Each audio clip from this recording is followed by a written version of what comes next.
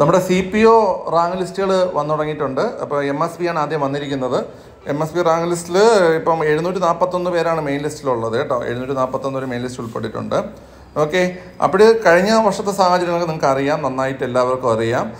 Rank ലിസ്റ്റിൽ ഉയർന്ന rank വാങ്ങിയ എല്ലാവർക്കും അഭിനന്ദനങ്ങൾ. അപ്പം ഇപ്പോഴേ പറയുകയാണ് എല്ലാവരും എല്ലാ ബെറ്റാനിലുള്ള ആൾക്കാരും എല്ലാ റാങ്ക് ലിസ്റ്റുകാരും ഒറ്റക്കെട്ടായി നിന്നുകൊണ്ട് തന്നെ ഈ വേക്കൻസികൾ ഫുള്ള് നേടിയെടുക്കണം. ഇത് ഇപ്പോഴേ നിങ്ങൾ അതിന് വേണ്ടിയിട്ടുള്ള കാര്യങ്ങൾ ആരംഭിക്കണം. മനസ്സിലായ?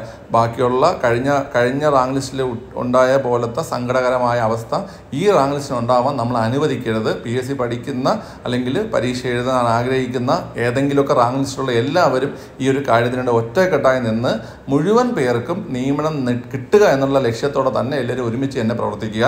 ഓക്കെ അപ്പം റാങ്ക് ലിസ്റ്റിൽ ഉൾപ്പെട്ട എല്ലാ കുട്ടികൾക്കും ഒന്നുകൂടി ഞാൻ അഭിനന്ദനം പറയുകയാണ്. എല്ലാവർക്കും കൺഗ്രാറ്റ്സ് ഓക്കെ നമുക്ക് ബാക്കി റാങ്ക് ലിസ്റ്റുകൾ വേണ്ടതനുസരിച്ച് എന്ത് ചെയ്യാം? കാര്യങ്ങൾ അപ്ഡേറ്റ് ചെയ്യാം. ഓക്കെ അടുത്ത വീഡിയോ വീണ്ടും കാണാം. ബൈ